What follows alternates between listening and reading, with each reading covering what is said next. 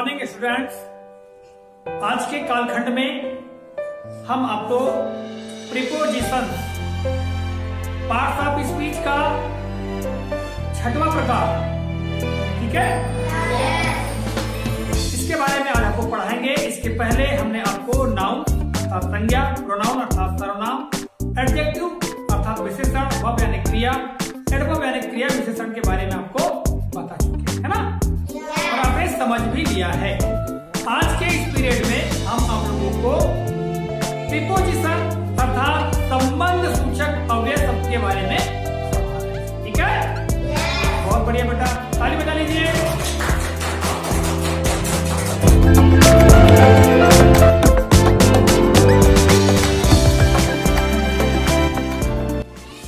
Preposition संबंध सूचक अव्यय।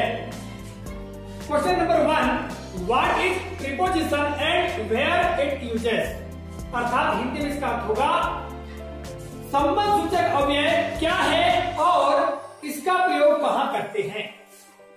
वेयर इट यूजेस इसका प्रयोग हम कहाँ करते हैं?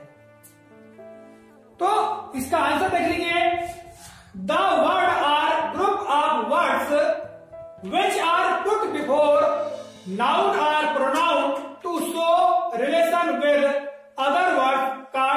preposition क्या अर्थ हुआ इसका? इसका मतलब ये हुआ, the word are group of word शब्द अथवा शब्दों का समूह। ग्रुप ऑफ़ वर्ड है शब्दों का समूह। विच जो आर पुट बिफोर जो रखे जाते हैं या लिखे जाते हैं। बिफोर नाउन और प्रोनाउन संज्ञा अथवा सर्वनाम के पहले। टू सो दिखाने के लिए या दर्शाने के लिए। क्या दर्शाने के लिए? रिलेशन यानी संबंध विद अदर वर्ड दूसरे शब्दों से कार प्रिपोजिशन संबंध सूचक अव्यय कहते हैं। अब सही क्या होगा बेटा? शब्द या शब्दों का समूह, जो संज्ञा या सर्वनाम के पूर्व अर्थात पहले अन्य शब्दों से संबंध दर्शाने के लिए लगाए जाते हैं, उन्हें संबंध सूचक शब्द कहते हैं या वे संबंध सूचक शब्द कहलाते हैं प्रिपोजिशन कहलाते हैं। बात समझ में आई हम लोगों को? बहुत बढ़िया बेटा। आपको इसको याद भी रख लेना है ठीक है? रखने की बात नहीं याद रखने की बात है कि ऐसे शब्द जिन्हें हम संज्ञा या सर्वनाम अर्थात नाउंस और प्रोनाउंस के पहले लिखते हैं या लगाते हैं और फिर वो शब्द दूसरे शब्दों से संबंध बताते हैं। तो ऐसे शब्दों को हम कहते हैं प्रिपोजिशन संबंध सूचक अव्यय। हमने आपको हिंदी में बताया बेटा आपको है ना? हिंदी के व्याकरण और अंग्रेज़ी की जो ग्रामर है वो दोनों लगभग लगभग समान है। कुछ एक मामलों में थोड़ा अंतर है बाकी सब एक समान ही है ठीक है? Yes. देखिए एग्ज़ाम्पल लिख लीजिए यहाँ पर। The cow is in the field या लिखेंगे द काउ गाय इज़ है इन द फ़ील्ड खेत में।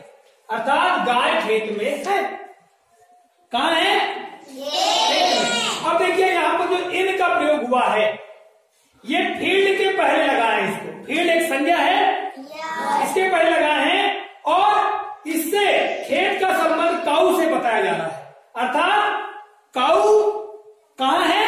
खेत में है। तो में शब्द या इन शब्द क्या है? प्रिपोजिशन है संबंध सूचक शब्द है। Example number two a book is on the table या देखिए ऑन पर अर्थात द बुक अ बुक पुस्तक इज़ है ऑन द टेबल यानी मेज पर पुस्तक टेबल पर है या पुस्तक मेज पर है। तो यहाँ पर देखिए टेबल के पहले यहाँ आन लगा है, जो कि एक प्रिपोजिशन है, और टेबल का पुस्तक से संबंध बताया जा रहा है। इसलिए यहाँ पर आन जो शब्द है, वह प्रिपोजिशन है। थर्ड एग्ज़ाम्पल देख लीजिए। The deer jump into the river क्या मतलब हुआ? द डियर हिरण जम्प कूद गई या कूदी इनटू के भीतर द रिवर नदी। अर्थात हिरण नदी में कूद गया या नदी के भीतर कूद गया?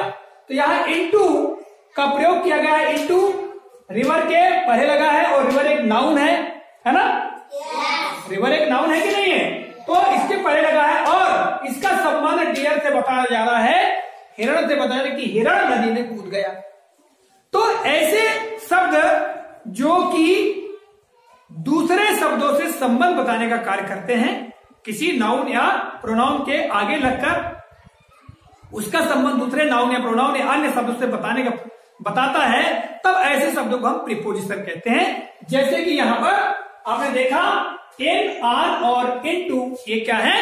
प्रिपोजिशन है। बात समझ बेटा आप लोगों को? बहुत अच्छी बात है। देखिए आगे प्रिपोजिशंस आर प्रिपोजिशंस हैं। और भी यहाँ पर हमने उदाहरण लिख के रखा है। जो कि प्रिपोजिशन है इनको समझ लेते हैं। पहले हमने अंग्रेज़ी में लिखा है उसका मीनिंग हमने हिंदी में कोष्टक में लिखा हुआ ब्रैकेट में लिखा है। ठीक है बेटा? Yes. बहुत बढ़िया। तो देखिए अहेड अहेड का मतलब होता है आगे। बोलिए अहेड यानी आगे। बिहाइंड यानी पीछे। बिफोर बिफोर यानी पहले। आफ्टर यानी बाद में। अबो। अबो यानी ऊपर। बिलो। बिलो यानी नीचे। आउटसाइड आउटसाइड यानी बाहर। इनसाइड इनसाइड यानी अंदर नियर नियर यानी पास फार फार यानी दूर देखिए बेटा इसकी स्पेलिंग क्या है एफ़ ए आर फार यानी दूर होता है और एक होता है फार एफ़ ओ आर फार वो भी फार होता है पर उसका अर्थ अलग होता है उसका फार का मतलब होता है के लिए या हेतु ठीक है? परंतु एफ़ ए आर फार का मतलब होता है दूर ठीक है? इन फ्रंट सामने. टुवर्ड इसका मतलब होता है सामने या की ओर भी होता है। टुवर्ड यानी की ओर या सामने दोनों होता है ठीक है? अक्रॉस आर पार. नियर बाई ने आसपास। आसपास अक्रॉस यानी पार। या के पार भी कह सकते हैं। थ्रू। थ्रू थ्रू का मतलब है द्वारा। के बलबूते। या ज़रिए। रीजन रीजन कारण फार हेतु के लिए देखिए शब्द आगे फार ये है एफ़ आर फार यानी दूर और ए फॉर फार यानी के लिए या हेतु ठीक है? सपोज़ सहारे। इक्वल समान। लाइक वाइज इस तरह या तरह लाइक जैसे अपोजिट विपरीत अपोज विरोध साटा सिवाय तो यहाँ पर आप देख रहे हैं बेटा कि इतने सारे जो हमने शब्द लिखे हैं ये सारे शब्द जो हैं ये प्रिपोजिशंस हैं। ठीक है? आपको याद रख लेना है इनको बेटा। इनको जब तक याद नहीं करोगे तब तक इनका उपयोग या प्रयोग भी नहीं कर सकते। बात समझ आ रहे हैं आप लोगों को? तो इनको आपको क्या करना है? रटना है। ठीक है? चलिए इसके अलावा और भी प्रिपोजिशन उनके बारे में भी हम पढ़ लेते हैं। ठीक है बेटा? हाँ। वेद साथ या संग अराउंड आसपास या भर ओनली मात्र केवल अंटिल तक टू को या तक कंप्लीट भर इंक्लूडिंग समय और कंपेयर अपेक्षा। या तुलना में। तो बेटा ये हमने कुछ प्रिपोजिशन आपको बताए और इनको याद करना है और तभी आप इनका प्रयोग कर सकते हैं। ठीक है? बहुत बढ़िया। आगे चलते हैं। Question number three right type of preposition अर्थात संबंध सूचक के प्रकार लिखिए। राइट लिखिए टाइप ऑफ़ प्रिपोजिशन संबंध सूचक के प्रकार। ठीक है? आंसर है देर आर फोर काइंड अर्थात चार प्रकार हैं। कितने प्रकार हैं? चार। चार प्रकार हैं। पहला है सिंपल प्रिपोजिशन बोलिए। यानी साधारण संबंध सूचक। इस संबंध सूचक में या इस प्रिपोजिशन में क्या है बेटा? कि एकमात्र शब्द होता है उस अकेले शब्द का उपयोग किसी नाउन या प्रोनाउन के पहले करते हैं। और सामान्य रूप से करते हैं इसलिए ये वाले जो प्रिपोजिशन है वो सिंपल प्रिपोजिशन कहलाते हैं। सामान्य संबंध सूचक शब्द कहलाते हैं। ठीक है? इनके उदाहरण देख लीजिए यहाँ पर। एट एट का मतलब होता है को। एक मतलब है या पर भी होता है। बाई से से के के द्वारा द्वारा हार पार के लिए के लिए हेतु हेतु एट इन में में आउट आउट बाहर बाहर थ्रू थ्रू द्वारा द्वारा से से टिल टिल तक तक टू टू को को अप अप ऊपर ऊपर वेद वेद से से तो ये बेटा है सिंपल प्रिपोजिशन के उदाहरण क्योंकि इनको मात्र एक तो शब्द है है ना और सामान्य रूप से इसका प्रयोग हम किसी नाउन या प्रोनाउन के पूर्व करके या पूर्व उपयोग करके दूसरे नाउन या प्रोनाउन से इसका हम संबंध बताते हैं ठीक है? यस दूसरा प्रकार है कंपाउंड प्रिपोजिशन बोलिए कंपाउंड प्रिपोजिशन कंपाउंड का मतलब होता है संयुक्त। क्या होता है बेटा? संयुक्त. संयुक्त यानी जुड़ा हुआ। संयुक्त यानी जुड़ा हुआ। जुड़ा हुआ। तो संयुक्त संबंध सूचक। तो देखिए संयुक्त संबंध सूचक में क्या होता है? लगभग लगभग दो शब्द खंड है। वो आपस में जुड़कर बनते हैं। ठीक है? यस संयुक्त संबंध सूचक शब्द अर्थात कंपाउंड प्रिपोजिशन में दो सिलेबल या शब्द खंड आपस में जुड़े हुए होते हैं तो वे कहलाते हैं, क्या कहलाते हैं? वे कहलाते हैं कंपाउंड प्रिपोजिशन देखिए यहाँ पर एग्जांपल है अराउंड अराउंड तो अराउंड में देखो अ और राउंड जुड़ा हुआ है around alarm alarm before before behind behind तो इनमें देखो बेटा दो या दो से अधिक सिलेबल जुड़े हुए हैं सिलेबल का मतलब शब्द खंड अर्थात शब्दों के हिस्से शब्दों के भाग वो दो या दो से अधिक शब्द खंड जुड़ करके ये प्रिपोजिशन बनते हैं इसलिए इनको हम कंपाउंड प्रिपोजिशन कहते हैं ठीक है यस और इनका प्रयोग भी हम किसी नाउन या प्रोनाउन के पूर्व करते हैं और उसका दूसरे नाउन या प्रोनाउन या शब्द से संबंध बताते हैं उसका ठीक है? Yes. तो उदाहरण देखेंगे अराउंड यानी चारों ओर। अराउंड यानी चारों ओर। या आसपास।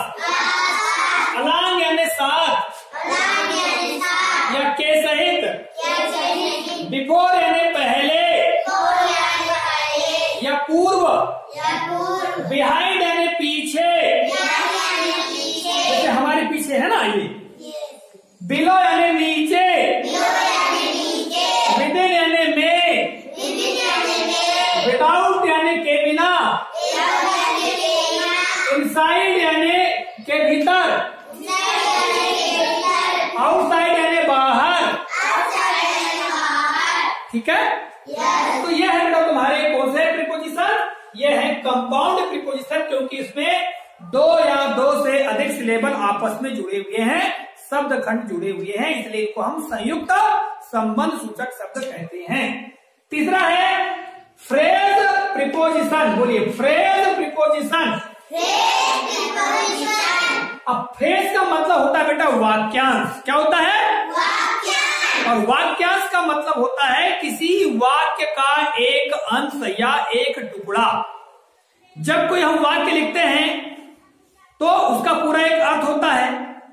तो उस वाक्य का एक टुकड़ा या एक हिस्सा जिसे हम क्या कहते हैं? वाक्यांश कहते हैं और अंग्रेज़ी में कहते हैं फ्रेज अर्थात ये जो फ्रेज प्रिपोजिशन होते हैं ये दो या दो से अधिक शब्दों से मिलकर बनते हैं ठीक है?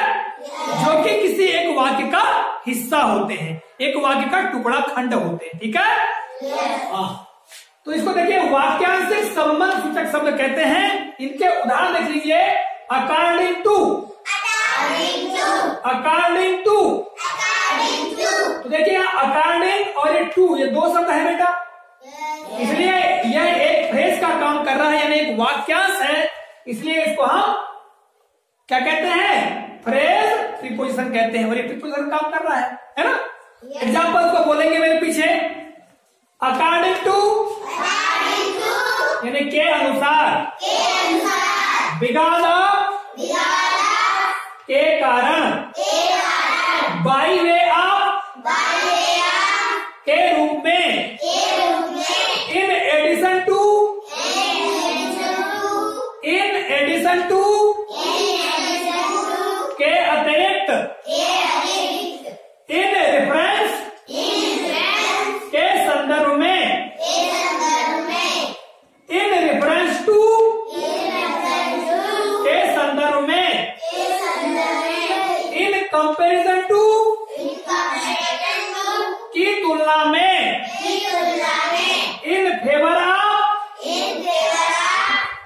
के पक्ष में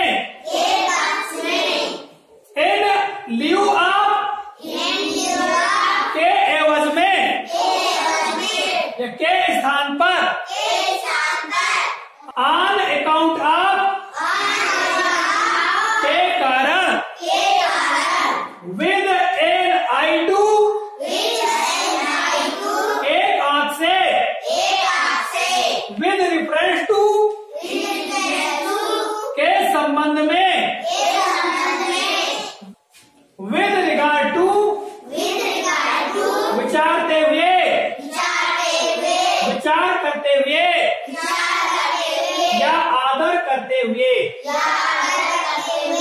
तो बेटा ये था तुम्हारा तीसरा फ्रेश प्रिपोजिशन अर्थात वाक्यांश का संबंध सूचक। अब चौथा प्रकार जो आता है, वो आता है पार्टिसिपल प्रिपोजिशन बोलिए। पार्टिसिपल प्रिपोजिशन अर्थात कृदंतिक संबंध सूचक कृदंतिक संबंध सूचक जब आप बेटा बड़ी कक्षा में हो जाएँगे, तब आपको ये बहुत अच्छे समझ में आएगा। केवल आपको इसमें उदाहरण समझना है। क्या है बेटा, यहाँ जो नीचे दिए गए संबंध सूचक शब्द हैं, अर्थात प्रिपोजिशंस हैं, वो एक पार्टिसिपल का काम करते हैं प्रोजेक्ट पार्टिसिपल का काम करते हैं। जब आप बड़ी कक्षा में जाएँगे, तब आपको टेस्ट पढ़ेंगे और टेस्ट में आप, या जो क्रिया के रूप में पढ़ेंगे आप तो उसमें पार्टिसिपल आपको पढ़ने को मिलेगा। ठीक है? Yes. हाँ। तो पार्टिसिपल जब पढ़ेंगे आप तो पार्टिसिपल को कृदंत कहते हैं। तो यहाँ पर इतना समझ लीजिए कि पार्टिसिपल प्रिपोजिशन का मतलब हो कृदंतिक संबंध सूचक। बोलिए। कृदंतिक संबंध सूचक। अब इनके उदाहरण लीजिए barring B A double R I N G barring barring का मतलब होता है को छोड़कर। बोलिए। को छोड़कर। बेरिंग बेरिंग को छोड़कर। को छोड़कर कंसर्निंग विषय में विषय में ड्यूरिंग ड्यूरिंग के दौरान के दौरान या के दरमियान के दौरान पेंडिंग पेंडिंग लंबे या अपूर्ण अपूर्ण रिस्पेक्टिंग रिसेप्टिव के संदर्भ में के संदर्भ में सचिन सचिन हृदय विदारक हृदय विदारक या मर्म भेदी आनंद में भी आप लोग ये वाली बात बड़ी कक्षा में पढ़ोगे। तो आप लोगों ने प्रिपोजिशन के बारे में पढ़ा। आपको केवल याद ये रखना है कि प्रिपोजिशन वे शब्द होते हैं जिन्हें हम किसी नाउन या प्रोनाउन के पहले लगाते हैं और उससे क्या होता है? उसका संबंध, उस नाउन या प्रोनाउन का संबंध दूसरे या नाउन या प्रोनाउन से हो जाता है। या दूसरे नाउन या प्रोनाउन का संबंध बताया जाता है। इसलिए हम उनको प्रिपोजिशन कहते हैं। प्रीपोजिशन मतलब है पहले रखना। क्या से होता है? पहले रखना। प्री यानी पहले पोजिशन यानी स्थिति में रखना। ठीक है. इसका मतलब वो प्रीपोजिशन बात समझ में आप लोगों को? बहुत अच्छी बात है बेटा। ताली बजाइए। बोलिए जय हिंद।